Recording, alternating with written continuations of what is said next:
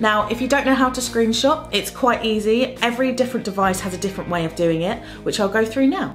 If you want to take a screenshot on iMacs, it's Shift Command 3 and this will automatically take a screenshot of your whole screen. You can crop this if you need to, to make sure the image is showing just what you want it to show. For Windows, the keyboard should have a print screen button that looks like this, which should take a capture of the whole screen for you and again you can crop it to the size that you want it to only show what you need. Most phones are fairly generic when taking a screen grab so for iPhones it is the lock button and the home screen button to get a screen grab or for Androids it's traditionally the lock button and the volume buttons at the same time to get a screen grab on them but please be warned a lot of Androids may be slightly different to each other so make sure you do research that on Google to make sure you get the right settings.